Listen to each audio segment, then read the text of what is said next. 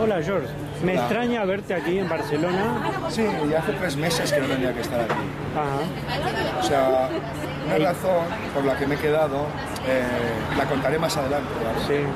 Pero la, la razón exclusiva por la que O sea, te la quedaste. razón es porque quería joder a Paul Sony, que dijo que yo me iba a ir de enseguida.